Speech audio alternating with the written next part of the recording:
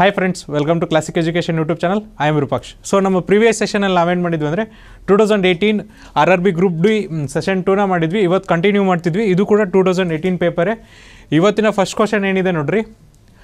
A man six times as old as ಈ son ಈ now, in six years time their ages will be in the of 7 is to 2. Find the current age of the son. So ಈಗೇನಂದರೆ ಒಬ್ಬ ಮನುಷ್ಯನ ವಯಸ್ಸು ಅವನ ಮಗನಿಗಿಂತ ಆರು ಪಟ್ಟು ಜಾಸ್ತಿ ಇದೆ. ಆರು ವರ್ಷ ಆದಮೇಲೆ ಅವನ ವಯಸ್ಸು ಎಷ್ಟಾಗುತ್ತಪ್ಪ ಅಂದರೆ, ಮಗನ ಮತ್ತು ಅವನ ವಯಸ್ಸು ರೇಷಿಯೋ ಎಷ್ಟಾಗುತ್ತೆ ಅಂದರೆ ಸೆವೆನ್ ಇಷ್ಟು ಟು ಆಗುತ್ತೆ. ಹಾಗಾದರೆ ಮಗನ ಈಗಿನ ವಯಸ್ಸು ಎಷ್ಟು ಅಂತ ಕೇಳಿದ್ದಾರೆ. ಸೊ ನೋಡ್ರಿ ಫಸ್ಟ್ ಸ್ಟೇಟ್ಮೆಂಟಲ್ಲಿ ಏನು ಹೇಳಿದ್ದಾರೆ ಅಂದರೆ ಇದು ನಾವು ಫಾದರ್ ಅಂತ ತಗೊಳ್ಳೋಣ ಸನ್ ಅಂತ ತಗೊಳ್ಳೋಣ.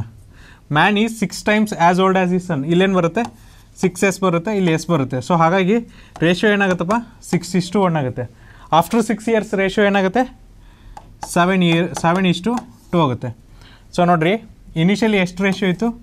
ಸಿಕ್ಸ್ ಇಷ್ಟು ಒನ್ ಇದೆ. ಆಫ್ಟರ್ ಸಿಕ್ಸ್ ಇಯರ್ಸ್ ಎಷ್ಟಾಗುತ್ತೆ? ಸೆವೆನ್ ಇಷ್ಟು ಟು ಆಗುತ್ತೆ. ಇದು ಯಾವಾಗಂದರೆ? After six years so just observe ಮಾಡಿರಿ. ಕರೆಂಟ್ ರೇಷಿಯೋ ಎಷ್ಟಿದೆ? ಸಿಕ್ಸ್ ಇಷ್ಟು ಒನ್ ಇದೆ. ಆಫ್ಟರ್ ಸಿಕ್ಸ್ ಇಯರ್ಸ್ ಎಷ್ಟಿದೆ? ಸೆವೆನ್ ಇಷ್ಟು ಟು ಇದೆ. ಸೊ ಇಲ್ಲಿ ಫಾದರಿಂದ ಫಾದರ್ ಸಿಕ್ಸಿಂದ ಸೆವೆನಿಗೆ ಎಷ್ಟು ಪಾರ್ಟ್ ಚೇಂಜ್ ಆಗಿದೆ? ಒನ್ ಪಾರ್ಟ್ ಚೇಂಜ್ ಆಗಿದೆ. ಅದೇ ಥರನಾಗಿ ಸಣ್ಣದು ಎಷ್ಟು ಪಾರ್ಟ್ ಚೇಂಜ್ ಆಗಿದೆ? ಒನ್ ಪಾರ್ಟ್ ಚೇಂಜ್ ಆಗಿದೆ. ಸೊ ನೋಡಿರಿ, ಈಗ one part equal to six ಆದರೆ ನಮ್ಗೇನು ಕೇಳಿದ್ದಾರೆ ಕರೆಂಟ್ ಏಜ್ ಕೇಳಿದ್ದಾರೆ ಹಾಗಾದರೆ ಕರೆಂಟ್ ಏಜ್ ಎಷ್ಟು ಪಾರ್ಟ್ ಇದೆ ಸಣ್ಣದು? ಒಂದೇ ಪಾರ್ಟ್ ಇದೆ. ಹಾಗಾದರೆ ಉತ್ತರ ಏನಾಗುತ್ತಪ್ಪ ಅಂದರೆ ಸಿಕ್ಸ್ ಇಯರ್ಸ್ ಆಗುತ್ತೆ. ಯಾಕಂದರೆ ಬರೀ ಒನ್ ಪಾರ್ಟಿಗೆ ಎಷ್ಟು ಡಿಫ್ರೆನ್ಸ್ ಆಗಿದೆ? ಸಿಕ್ಸ್ ಇಯರ್ಸ್ ಡಿಫ್ರೆನ್ಸ್ ಆಗಿದೆ. ಹಾಗಾಗಿ ನಾವು ಕನ್ಕ್ಲೂಷನ್ ಏನು ಡ್ರಾ ಮಾಡ್ಬೋದು ಅಂದರೆ one part equal to six years ಅಂತ ಡ್ರಾ ಮಾಡ್ಬೋದು. ಈ ಥರ ಪ್ರಾಬ್ಲಮ್ಸ್ನ ನೀವು ಪಾರ್ಟ್ಸ್ ವೈಸ್ ಸಾಲ್ವ್ ಮಾಡೋದ್ರಿಂದ ಪಾರ್ಟ್ಸ್ ಮೆಥಡಿಂದ ಸಾಲ್ವ್ ಮಾಡೋದ್ರಿಂದ ನಿಮ್ಗೆ ಏನು ಹೆಲ್ಪ್ ಆಗುತ್ತಪ್ಪ ಅಂದರೆ ಎಕ್ಸಾಮಿನೇಷನಲ್ಲಿ ನಿಮಗೆ ಟೈಮ್ ಭಾಳ ಕಮ್ಮಿ ಇರುತ್ತೆ.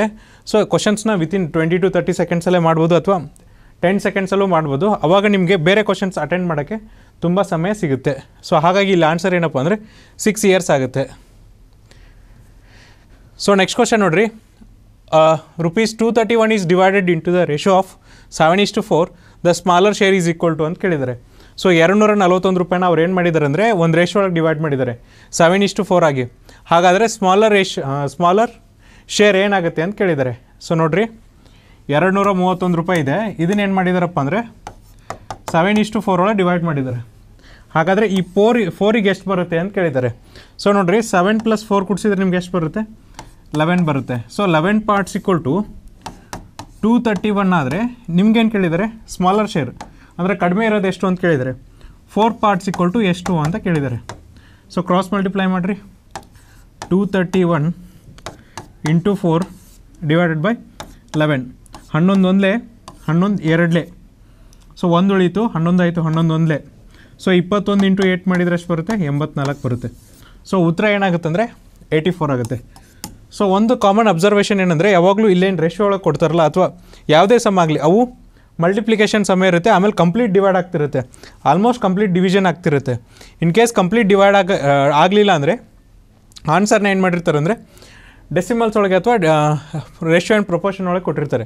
ಹಾಗಾಗಿ ನಿಮಗೆ ಆನ್ಸರ್ ಯಾವಾಗಲೂ ಕ್ಲಿಯರ್ ಇತ್ತಂದರೆ ಅಂದರೆ ನ್ಯಾಚುರಲ್ ನಂಬರ್ಸ್ ಇದ್ದರೆ ಈ ಆಪ್ಷನ್ಸ್ ಏನಿರ್ತಾವಲ್ಲ ಕಂಪ್ಲೀಟ್ ಡಿವೈಡ್ ಆಗುತ್ತೆ. ಹಾಗಾಗಿ ನೀವು ಲೆವೆನಿಂದನೇ ಡಿವೈಡ್ ಮಾಡ್ಕೋಬೋದು. ಸೊ, ಉತ್ತರ ಎಷ್ಟಾಗುತ್ತೆ ಅಂದರೆ ಏಯ್ಟಿ ಫೋರ್ ಆಗುತ್ತೆ. ಸೊ ನೆಕ್ಸ್ಟ್ ಕ್ವಶನ್ ನೋಡಿರಿ. Find the next figure in the series so ನೀವೇನು ಮಾಡಬೇಕು? ನೆಕ್ಸ್ಟ್ ಫಿಗರ್ನ ಕಂಡುಹಿಡಬೇಕು. ಅಂದರೆ ಮುಂದೆ ಬರುವಂಥ ಸಂಖ್ಯೆ ಯಾವುದು ಅಂತ ಕಂಡುಹಿಡಬೇಕು. ಫಸ್ಟ್ ಏನಿದೆ? ಬಿ ಬೈ ಫೋರ್ ಇದೆ. ಸೆಕೆಂಡ್ ಏನಿದೆ? ಡಿ ಬೈ ಸಿಕ್ಸ್ಟೀನ್ ಇದೆ. ಮೂರನೇದೇನಿದೆ ಎಫ್ ವೈ ಸಿಕ್ಸ್ಟೀನ್ ಇದೆ. ನೆಕ್ಸ್ಟ್ ಏನು ಬರುತ್ತೆ ಅಂತ ಕೇಳಿದ್ದಾರೆ. ಸೊ ನೋಡಿರಿ, ನಾವು ಕೋಡಿಂಗ್ ಡಿಕೋಡಿಂಗ್ ಕ್ಲಾಸಲ್ಲಿ ಏನು ಮಾಡ್ತೀವಿ ಅಂದರೆ ಕೋಡಿಂಗ್ ಡಿಕೋಡಿಂಗ್ ಚಾಪ್ಟ್ರಲ್ಲಿ ಬಿನ ಯಾವಾಗಲೂ ಟೂ ಅಂತ ಕೋಡ್ ಮಾಡ್ತೀವಿ ಡಿನ ಫೋರ್ ಅಂತ ಕೋಡ್ ಮಾಡ್ತೀವಿ ಎಫ್ನ ಸಿಕ್ಸ್ ಅಂತ ಕೋಡ್ ಮಾಡ್ತೀವಿ. ಸೊ ಬಿನ ಟೂ ಅಂತ ಕೋಡ್ ಮಾಡ್ತೀವಿ. ಸೊ ಈ ಫೋರ್ ಏನಿದೆಯಲ್ಲಪ್ಪ ಏನಾಗುತ್ತೆ ಅಂದರೆ ಟೂ ಸ್ಕ್ವೇರ್ ಇದು ಸಿಕ್ಸ್ಟೀನ್ ಏನಿಲ್ಲ ಫೋರ್ ಸ್ಕ್ವೇರ್ ಆಗುತ್ತೆ. ತರ್ಟಿ ಸಿಕ್ಸ್ ಏನಿದೆ ಸಿಕ್ಸ್ ಸ್ಕ್ವೇರ್ ಆಗಿದೆ. ಸೊ ಇವ್ರು ಏನು ಮಾಡಿದ್ದಾರೆ? ರಿಲೇಟೆಡ್ ನಂಬರು ಡಿವೈಡೆಡ್ ಬೈ ಅದ್ರ ಸ್ಕ್ವೇರ್ ಮಾಡಿದ್ದಾರೆ. For example B equal to two ಅಂತಿದ್ರೆ ಬಿ ಡಿವೈಡೆಡ್ ಬೈ ಬಿನ ಹಾಗೆ ಇಟ್ಟಿದ್ದಾರೆ ಬಟ್ ಅದ್ರ ರಿಲೇಟೆಡ್ ನಂಬರ್ ಏನಿದೆ ಟು ಇದೆ. ಅದ್ರ ಡಿವೈಡೆಡ್ ಬೈ ಅದ್ರ ಸ್ಕ್ವೇರ್ ಮಾಡಿದ್ದಾರೆ. ನೆಕ್ಸ್ಟು ಡಿ ಫೋರ್ ಇದೆ. ಅದ್ರ related divided by four square ಎಷ್ಟಾಗುತ್ತೆ? ಸಿಕ್ಸ್ಟೀನ್ ಆಗುತ್ತೆ. ನೆಕ್ಸ್ಟ್ ಎಫ್ ಇದೆ. ಎಷ್ಟಂತ ಕೋಡ್ ಮಾಡ್ತೀವಿ? Six F divided by six square ಹಾಗಾದರೆ ನೆಕ್ಸ್ಟ್ ಟರ್ಮ್ ಯಾವ್ದು ಬರಬೇಕು? ಟೂ ಫೋರ್ ಸಿಕ್ಸ್ ಆದಮೇಲೆ ಏಯ್ಟ್ ಬರಬೇಕು. ಸೊ ಏಯ್ಟ್ ಲೆಟ್ರ್ ಯಾವುದು? ಎಚ್ ಬರುತ್ತೆ. ಸೊ ಜಿ ಸೆವೆನ್ ಅಂತ ಕೋಡ್ ಮಾಡ್ತೀವಿ ಎಚ್ಚನ್ನು ಏಯ್ಟ್ ಅಂತ ಕೋಡ್ ಮಾಡ್ತೀವಿ. ಡಿವೈಡೆಡ್ ಬೈ ಏನಾಗಬೇಕಪ್ಪ ಏಯ್ಟ್ ಸ್ಕ್ವೇರ್ ಆಗಬೇಕು. ಏಯ್ಟ್ ಸ್ಕ್ವೇರ್ ಅಂದರೆ ಎಷ್ಟಾಗುತ್ತೆ? ಸಿಕ್ಸ್ಟಿ ಫೋರ್ ಆಗುತ್ತೆ. ಸೊ ಇಲ್ಲಿ ಉತ್ತರ ಏನಾಗುತ್ತೆ ಅಂದರೆ H divided by sixty four ಆಗುತ್ತೆ. ಹಾಗಾದ್ರೆ ಉತ್ತರ ಏನಾಗುತ್ತೆ ಅಂದರೆ option number sorry option number C ಆಗುತ್ತೆ. ಫಿಗರ್ ಇಲ್ಲಿ ಬಿ ಆಪ್ಷನ್ ಆಪ್ಷನ್ ಒಳಗೆ ಬಿ ಕೊಟ್ಟಿದ್ದಾರೆ. ಬಿ ಫಿಗರ್ ಆಗುತ್ತೆ ಬಟ್ ಆಪ್ಷನ್ ಏನಾಗುತ್ತಪ್ಪ? ಸಿ ಆಗುತ್ತೆ. ಸೊ ಇಲ್ಲಿ ಕೂಡ ನೋಡಿರಿ, ತುಂಬ ಕೇರ್ಫುಲ್ ಆಗಿರ್ರಿ. ನೀವು ಆಪ್ಷನ್ ನಂಬರ್ ಬಿ ಇದೆ ಅಂತ ಬಿನೇ ಚೂಸ್ ಮಾಡೋಂಗಿಲ್ಲ. ಇಲ್ಲಿ ಯಾವ ನಂಬರ್ ಕೊಟ್ಟಿದ್ದಾರೆ ಅಂತ ಸ್ವಲ್ಪ ಕೇರ್ಫುಲ್ಲಾಗಿ ಯೋಚನೆ ಮಾಡಿರಿ. ಯಾಕಂದರೆ ಎಕ್ಸಾಮಿನೇಷನಲ್ಲಿ ಅವಸರಕ್ಕೆ ಏನು ಮಾಡ್ತೀವಿ? ಸೊ ಇಲ್ಲಿ ಬಿ ನೋಡ್ತೀವಿ ಬಿನ ಕ್ಲಿಕ್ ಮಾಡಿಬಿಡ್ತೀವಿ ಬಟ್ ಇಲ್ಲಿ ಬಿ ಪಾಟಲ್ಲಿ ಏನಿದೆ ಅಂದರೆ ಎ ಇದೆ. ಬಟ್ ಬಿ ಇದ್ದಲ್ಲಿ ಏನಿದೆಯಪ್ಪ ಇಲ್ಲಿ? ಆಪ್ಷನ್ ನಂಬರ್ ಸಿ ಇದೆ. ಸೊ ಬಿ ಇದ್ದಲ್ಲಿ ಆಪ್ಷನ್ ಯಾವುದಿದೆ? ಸಿ ಇದೆ. ಹಾಗಾಗಿ ಆಪ್ಷನ್ ಯಾವುದಾಗುತ್ತೆ? ಆಪ್ಷನ್ ನಂಬರ್ ಸಿ ಆಗುತ್ತೆ. ಸೊ ಎಕ್ಸಾಮಿನೇಷನಲ್ಲಿ ಬರೀಬೇಕಾರೆ ಎಸ್ಪೆಷಲಿ ಆನ್ಲೈನ್ ಎಕ್ಸಾಮಿನೇಷನ್ ಬರೀಬೇಕಾರೆ ನಿಮ್ಗೆ ಒಂದು ಕಡೆ ಟೈಮ್ ಹೋಗ್ತಿರುತ್ತೆ, ಇನ್ನೊಂದು ಕಡೆ ಪ್ರೆಷರ್ ಜಾಸ್ತಿ ಇರುತ್ತೆ. ಆವಾಗ ಮಿಸ್ಟೇಕ್ಸ್ ಆಗೋದು ಜಾಸ್ತಿ. ಸೊ ಅದಕ್ಕೆ ಏನು ಮಾಡಿರಿ? ಆದಷ್ಟು ಹೆಚ್ಚಿಗೆ ಆನ್ಲೈನ್ ಎಕ್ಸಾಮ್ಸ್ನ ಅಥವಾ ಮಾಡೆಲ್ ಟೆಸ್ಟ್ನ ಮಾಕ್ ಟೆಸ್ಟ್ನ ಪ್ರಾಕ್ಟೀಸ್ ಮಾಡಿರಿ. ನಿಮ್ಗೆ ಏನಾಗುತ್ತೆ? ಯಾವ ಥರ ಟೈಮ್ ಮ್ಯಾನೇಜ್ಮೆಂಟ್ ಮಾಡಬೇಕಂತ ಗೊತ್ತಾಗುತ್ತೆ. ಆಮೇಲೆ ಪ್ರೆಷರ್ ಕೂಡ ಕಮ್ಮಿ ಆಗುತ್ತೆ. ಸೊ ನೆಕ್ಸ್ಟ್ ಕ್ವಶನ್ ನೋಡಿರಿ. ನೆಕ್ಸ್ಟ್ ಕ್ವಶನ್ ಏನಿದೆ ಅಂದರೆ three by four is multiply by multiplied by another number gives five by eighteen what is the number ಅಂತ ಕೇಳಿದ್ದಾರೆ. What is the other number ಈ ಈ ಥರದ ಕ್ವಶನ್ನ ನಾವು ಪ್ರೀವಿಯಸ್ ಸೆಷನಲ್ಲೇ ಸಾಲ್ವ್ ಮಾಡಿದ್ವಿ. ಸೊ ಈ ಸೆಷನಲ್ಲಿ ಕೂಡ ಅದನ್ನು ಸಾಲ್ವ್ ಮಾಡೋಣ. ಏನು ಹೇಳಿದ್ರು ಅಂದರೆ ತ್ರೀ ಬೈ ಫೋರಿಗೆ ಒಂದು ಲೆಟ್ರಿಂದ ಮಲ್ಟಿಪ್ಲೈ ಮಾಡ್ತಾರೆ. ಅವಾಗ ಏನಾಗುತ್ತಪ್ಪ? ಉತ್ತರ ಅಂದರೆ ಫೈವ್ ಬೈ ಏಯ್ಟ್ ಆಗುತ್ತೆ. ಹಾಗಾದರೆ ಆ ಮಲ್ಟಿಪ್ಲೈ ಮಾಡಿದ ನಂಬರ್ ಯಾವುದು ಅಂತ ಕೇಳಿದ್ದಾರೆ. ಸೊ ನೋಡಿರಿ ತ್ರೀ ಬೈ ಫೋರ್ಗೆ ಒಂದು ನಂಬರಿಂದ ಮಲ್ಟಿಪ್ಲೈ ಮಾಡ್ತಾರೆ. ಸೊ ಆ ನಂಬರ್ನ ನಾನು ಏನೇನು ಮಾಡ್ತೀನಿ ಅಂದರೆ ಎ ಅಂತ ತೊಗೋತೀನಿ. ಈಗ ಮಲ್ಟಿಪ್ಲೈ ಮಾಡಿದಾಗ ಏನು ಬರುತ್ತಪ್ಪ ಉತ್ತರ ಅಂದರೆ ಫೈವ್ ಬೈ ಏಟ್ ಬರುತ್ತೆ. ಸೊ ನಿಮಗೇನು ಕಂಡಿಡಿಯಕ್ಕೆ ಕೇಳಿದ್ದಾರೆ? ಈ ಏನು, ಈ ಎ ಏನು ಅಂತ ಕೇಳಿದ್ದಾರೆ. ಹಾಗಾದ್ರೆ ಏನು ಮಾಡಬೇಕಪ್ಪ ಅಂದರೆ, ಈ ಕಡೆ ಮಲ್ಟಿಪ್ಲೈ ಇದ್ದಿದ್ದು ಆ ಕಡೆ ಹೋದರೆ ಏನಾಗುತ್ತೆ? ಡಿವಿಷನ್ ಆಗುತ್ತೆ. So A is equal to ಏನಾಗುತ್ತೆ ಅಂದರೆ five by eight into so ಇಲ್ಲಿ ಏನಿದೆ? ತ್ರೀ ಮೇಲಿದೆ, ಆ ಕಡೆ ಬಂದರೆ ಏನಾಗುತ್ತಪ್ಪ? ಡಿವಿಷನ್ ಆಗುತ್ತೆ. ಇಲ್ಲಿ ಫೋರ್ ಕೆಳಗಡೆ ಇದೆ, ಆ ಕಡೆ ಬಂದರೆ ಮೇಲ್ಗಡೆ ಆಗುತ್ತೆ. ಸೊ ನೋಡಿರಿ. ನಾಲ್ಕು ಒಂದಲೇ, ನಾಲ್ಕು ಎರಡಲೆ. ಸೊ ಎಷ್ಟಪ್ಪ ಉತ್ತರ ಅಂದರೆ ಫೈವ್ ಬೈ ಸಿಕ್ಸ್ ಆಗುತ್ತೆ. ಆಪ್ಷನ್ ನಂಬರ್ ಸಿ ಆಗುತ್ತೆ. ನೆಕ್ಸ್ಟ್ ಕ್ವಶನ್ ನೋಡ್ರಿ. Thirty three out of sixty is ಅಂತ ಕೇಳಿದ್ದಾರೆ. Thirty three out of sixty is what percentage ಅಂತ ಕೇಳಿದ್ದಾರೆ. ಸೊ ನಾವು ಅರವತ್ತರಲ್ಲಿ ಮೂವತ್ತ್ಮೂರು ತೊಗೊಂಡ್ರೆ ಎಷ್ಟು ಪರ್ಸೆಂಟೇಜ್ ಆಗುತ್ತೆ ಅಂತ ಕೇಳಿದ್ದಾರೆ. ಸೊ ನೋಡಿರಿ. ಈ ಥರ ಕೇಳಿದಾಗ ಏನು ಮಾಡ್ಬೇಕಂದ್ರೆ ಮೇಲ್ಗಡೆ ಮೂವತ್ತ್ಮೂರು ಬರೀಬೇಕು. ಕೆಳಗಡೆ ಅರವತ್ತು ಇಂಟು ಹಂಡ್ರೆಡ್ ಸೊ ಮೂರು ಹನ್ನೊಂದಲೇ ಮೂರು ಎರಡಲೆ ಮೂರು ಇಪ್ಪತ್ತಲೆ ಇಪ್ಪತ್ತೊಂದಲೆ, ಇಪ್ಪತ್ತೈದಲೆ. ಸೊ ಎಷ್ಟು ಪರ್ಸೆಂಟೇಜ್ ಆಗುತ್ತಪ್ಪ? ತರ್ಟಿ ತ್ರೀ ಸಿಕ್ಸ್ಟಿಗೆ ಫಿಫ್ಟಿ ಫೈವ್ ಪರ್ಸೆಂಟ್ ಆಗುತ್ತೆ. ಸೊ ಉತ್ತರ ಏನಾಗುತ್ತೆ ಅಂದರೆ option number C fifty five percent ಆಗುತ್ತೆ. ಸೊ ಇದು ಫಿಫ್ಟಿ ಫೈವ್ ಆಗಬೇಕಿತ್ತು ಫಿಫ್ಟಿ ಏಯ್ಟ್ ಆಗಿದೆ ಆಪ್ಷನ್ ನಂಬರ್ ಸಿ ಆಗುತ್ತೆ.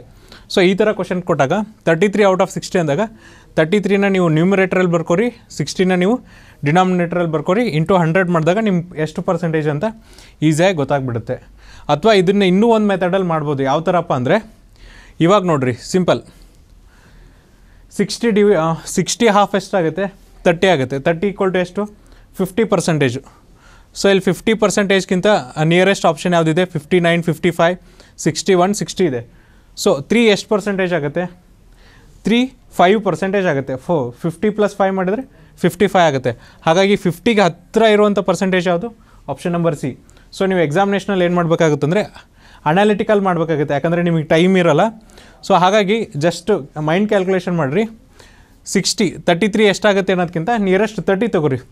ಸಿಕ್ಸ್ಟಿ ಡಿವೈಡೆಡ್ ಬೈ ಟೂ ಮಾಡಿದರೆ ತರ್ಟಿ ಬರುತ್ತೆ. Thirty equal to fifty percentage ಫಿಫ್ಟಿಗೆ ಅಗದಿ ನಿಯರ್ ಯಾವ, ಇರೋದು ಯಾವುದು? ಫಿಫ್ಟಿ ಫೈವ್ ಪರ್ಸೆಂಟೇಜ್ ಹಾಗಾಗಿ ಆನ್ಸರ್ ಏನಾಗುತ್ತೆ ಅಂದರೆ ಆಪ್ಷನ್ ನಂಬರ್ ಸಿ ಆಗುತ್ತೆ. ಸೊ ನೆಕ್ಸ್ಟ್ ಕ್ವಶನ್ ನೋಡಿರಿ. ಫೈನ್ ದ ನೆಕ್ಸ್ಟ್ ನಂಬರಿಂದ ಸೀರೀಸ್ ಅಂತ ಕೇಳಿದ್ದಾರೆ.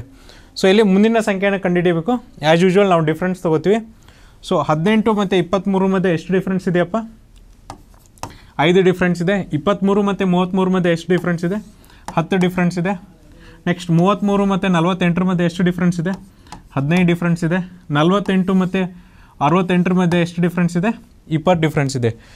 ಸೊ ಡಿಫ್ರೆನ್ಸ್ ನೋಡ್ರಿ ಇಲ್ಲಿ ಯಾವ ಥರ ಇದೆ ಅಂದರೆ ಐದು, ಹತ್ತು, ಹದಿನೈದು, ಇಪ್ಪತ್ತು. ಸೊ ನೆಕ್ಸ್ಟ್ ನಂಬರ್ ಏನು ಬರುತ್ತೆ? ಇಪ್ಪತ್ತೈದು ಬರುತ್ತೆ. ಯಾಕಂದರೆ ಪ್ರತಿಯೊಂದಕ್ಕೆ ಏನಾಗಿದೆ ಅಂದರೆ ಫೈವ್ ಫೈವ್ ಇನ್ಕ್ರೀಸ್ ಹಾಕೊಂಡು ಹೋಗಿದೆ. ಸೊ ಹಾಗಾಗಿ ನಾವು ನೆಕ್ಸ್ಟ್ ಟರ್ಮಿಗೂ ಕೂಡ ಏನು ಮಾಡಬೇಕಂದ್ರೆ ಫೈವ್ನ ಇನ್ಕ್ರೀಸ್ ಮಾಡಬೇಕಾಗತ್ತೆ. ಎಷ್ಟಾಗುತ್ತೆ ಇದು? ಟ್ವೆಂಟಿ ಫೈವ್ ಆಗುತ್ತೆ. Sixty eight plus twenty five ಮಾಡಿದ್ರೆ ಎಷ್ಟು ಬರುತ್ತೆ? ಸೊ ನೋಡಿರಿ, ಇಲ್ಲಿ ಕೂಡ ಒಂದು ಟ್ರಿಕ್ ಇದೆ. ಏನಪ್ಪ ಅಂದರೆ, ನಿಮಗೆ ಯೂನಿಟ್ ಡಿಜಿಟ್ಸ್ ಕಾನ್ಸೆಪ್ಟ್ ಗೊತ್ತಿರಬೇಕು. ಅವಾಗ ಏನಾಗುತ್ತೆ ನಿಮಗೆ? ಇನ್ನೂ ಆನ್ಸರ್ಸ್ನ ಈಸಿಯಾಗಿ ಕಂಡುಹಿಡಿಬೋದು. ನೋಡಿರಿ sixty eight plus twenty five ಮಾಡೋಕ್ಕೆ ನಿಮಗೆ ಮಿನಿಮಮ್ ಎಷ್ಟು ನಿಮಿಷ ಬೇಕಾಗುತ್ತೆ? ಅಟ್ಲೀಸ್ಟ್ ಒಂದು ಟೆನ್ ಸೆಕೆಂಡ್ಸ್ ಆದರೂ ಬೇಕಾಗುತ್ತೆ. ಹದಿನೆಂಟು, ಐ, ಎಂಟು ಪ್ಲಸ್ ಐದು, ಹದಿಮೂರು, ಆರು ಪ್ಲಸ್ ಮೂರು, ಒಂಬತ್ತು ತೊಂಬತ್ತ್ಮೂರು ಸೊ ಅದೇ ನಿಮಗೆ ಯೂನಿಟ್ ಡಿಜಿಟ್ ಕಾನ್ಸೆಪ್ಟ್ ಗೊತ್ತಿತ್ತಂದರೆ, ಅಂದರೆ ಕಡೆ ಸಂಖ್ಯೆ ಏನು ಬರುತ್ತೆ ಅಂತ? ಸೊ ಎಂಟು ಪ್ಲಸ್ ಐದು ಮಾಡಿದರೆ ಎಷ್ಟು ಬರುತ್ತೆ? ಮೂರು ಬರುತ್ತೆ. ಸೊ ಆಪ್ಷನಲ್ಲಿ ನೋಡಿರಿ, ಮೂರು ಇರುವಂಥ ಆಪ್ಷನ್ ಯಾವುದು? ಸೊ ಕೊನೆಯ ಸಂಖ್ಯೆ, ಅಂದರೆ ಯೂನಿಟ್ ಡಿ ಪ್ಲೇಸಲ್ಲಿ ಮೂರು ಇರುವಂಥ ಸಂಖ್ಯೆ ಯಾವುದು? ತೊಂಬತ್ತ್ಮೂರು ಒಂದೇ.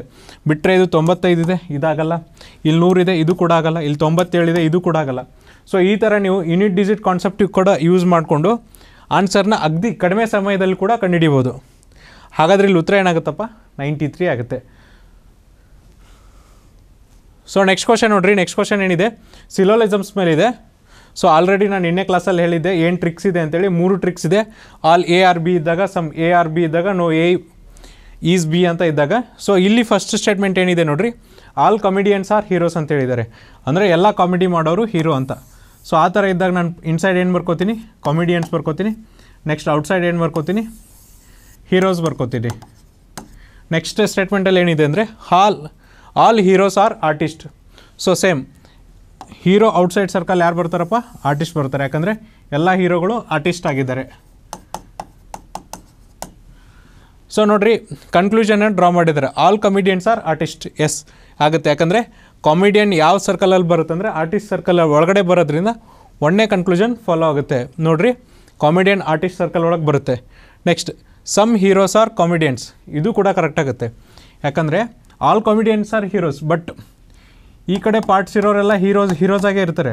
ಕಾಮಿಡಿಯನ್ಸ್ ಆಗಲ್ಲ. ಕೆಲವೊಂದಿಷ್ಟು ಜನ ಮಾತ್ರ ಏನಾಗಿರ್ತಾರೆ ಅಂದರೆ ಕಾಮಿಡಿಯನ್ಸ್ ಆಗ್ತಾರೆ. ಹಾಗಾಗಿ ಕನ್ಕ್ಲೂಷನ್ ಟೂ ಕೂಡ ಫಾಲೋ ಆಗುತ್ತೆ. ಸೊ ಇಲ್ಲಿ ಉತ್ತರ ಏನಾಗುತ್ತೆ ಅಂದರೆ both one and two follows ಆಗುತ್ತೆ. ಸೊ ನಿಮಗೆ ಸಿಲೋಲಿಸಮ್ಸನ್ನು ನೀವು ಜಾಸ್ತಿ ಜಾಸ್ತಿ ಪ್ರಾಕ್ಟೀಸ್ ಮಾಡಿದರೆ ನಿಮಗೆ ಎಕ್ಸಾಮಿನೇಷನಲ್ಲಿ ಆನ್ಸರು ಬೇಗ ಬರುತ್ತೆ. ಸೊ ನೆಕ್ಸ್ಟ್ ಕ್ವಶನ್ ನೋಡಿರಿ. Six kids are sleeping next to each other Dhruv is sleeping on the left of the Swayam Shlok is sleeping on the right of the Advait and one of one kid away from the Tanmay neither Ved nor Swayam are sleeping extreme ends who is at the extreme rights so ಈ ಥರ questions ಇದ್ದಾಗ ಏನಂದರೆ, ಇದು ನಿಮಗೆ puzzles ಮೇಲೆ ಇರೋದೇ. First ನೀವು ಒಂದು ಕಡೆ ಡಾಟಾ ಬರ್ಕೊಂಬಿಡ್ರಿ ಡಾಟಾ ಬರ್ಕೊಂಡು ಆಮೇಲೆ ನೀವು ಸೊಲ್ಯೂಷನ್ನ ಸ್ಟಾರ್ಟ್ ಮಾಡಿರಿ. ನೀವು ಇನ್ ಕೇಸ್ ಡೈರೆಕ್ಟಾಗಿ ಸೊಲ್ಯೂಷನ್ ಸ್ಟಾರ್ಟ್ ಮಾಡ್ತಾ ಹೋದರೆ ನಿಮ್ಗೇನಾಗುತ್ತೆ ಕನ್ಫ್ಯೂಷನ್ಸ್ ಆಗುತ್ತೆ. ಅದಕ್ಕೇನು ಮಾಡಿರಿ? ಒಂದು ಕಡೆ ಡಾಟಾ ಬರ್ಕೊಂಡು ಹೋಗ್ರಿ. ಫಸ್ಟ್ ಏನಿದೆ? ಸಿಕ್ಸ್ ಕಿಡ್ಸ್ ಇದ್ದಾರೆ ಯಾರಪ್ಪ ಅವರು ಸಿಕ್ಸ್ ಕಿಡ್ಸು ಫಸ್ಟ್ ನೋಡಿರಿ. ಧ್ರುವ. ನೆಕ್ಸ್ಟ್ ಯಾರಿದ್ದಾರೆ ಅಂದರೆ? ಸ್ವಯಂ ಅದಾದಮೇಲೆ ಯಾರಿದ್ದಾರೆ ಅಂದರೆ ಶೋಲಕ್. ನೆಕ್ಸ್ಟ್ ಯಾರಿದ್ದಾರೆ ಅದ್ವೈತ್.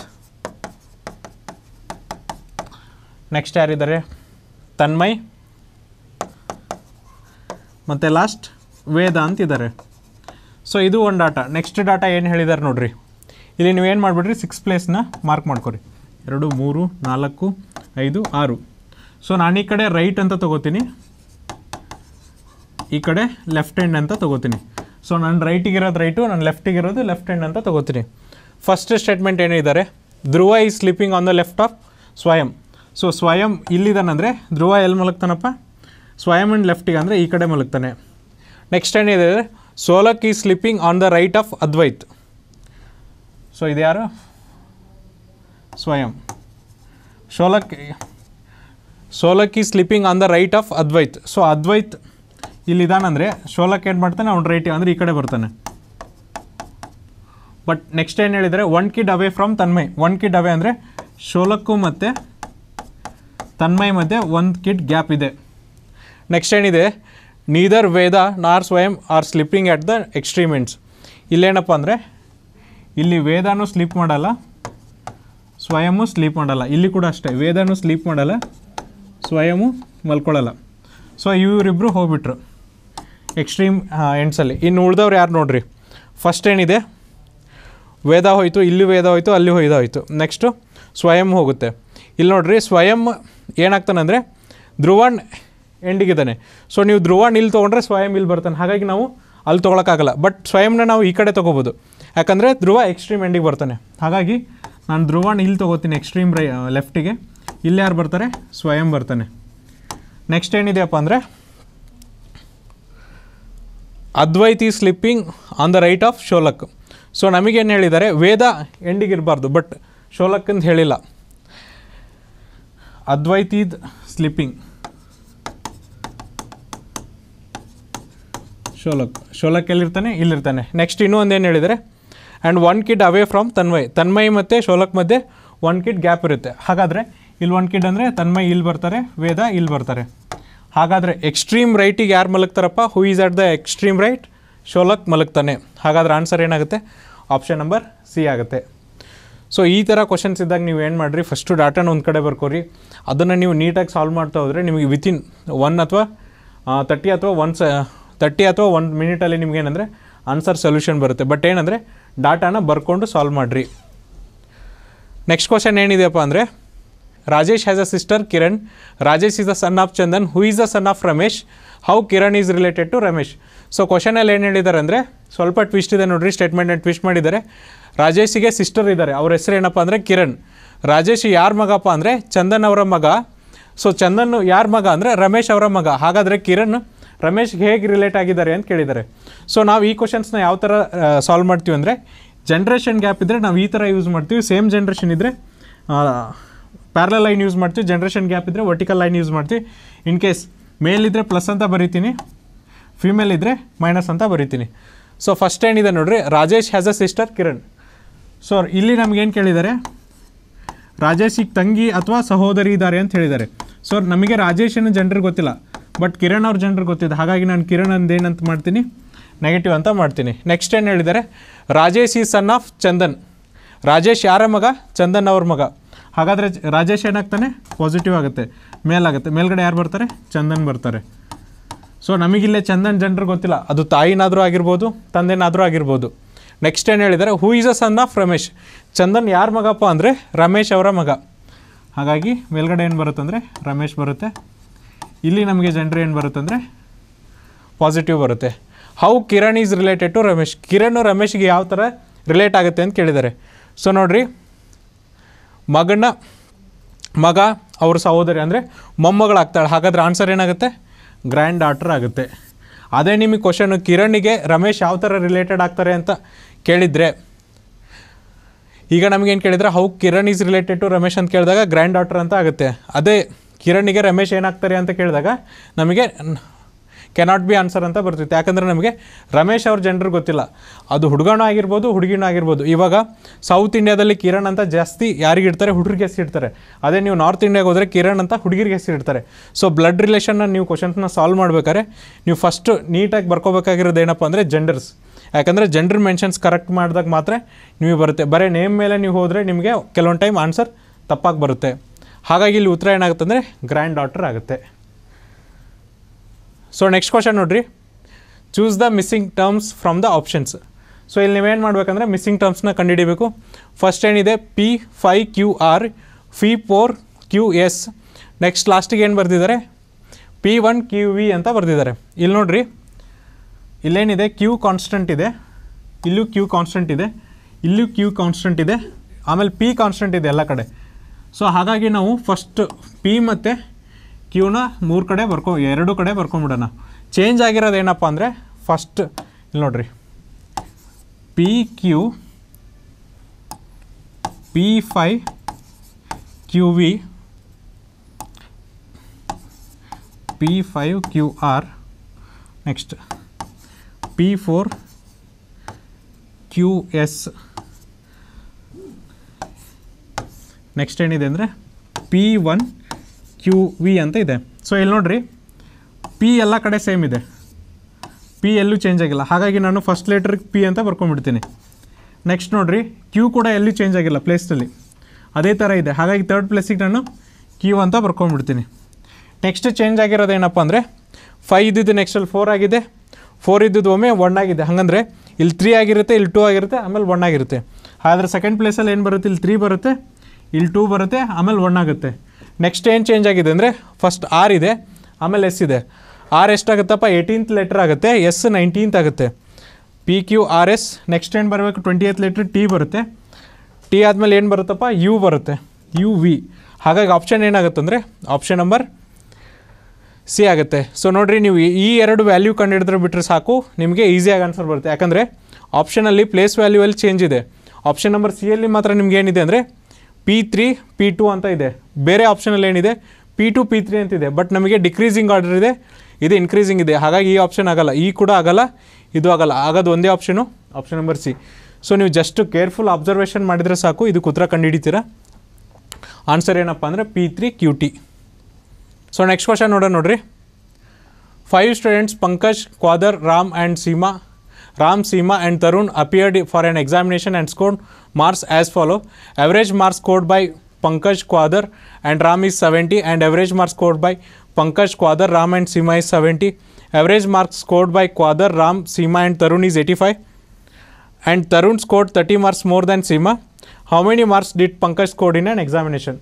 So ಇಲ್ಲೇನಂದರೆ ಐದು ಜನ ಹುಡುಗರು ಒಂದು ಎಕ್ಸಾಮಿನೇಷನ್ ಕೊಟ್ಟಿದ್ದಾರೆ.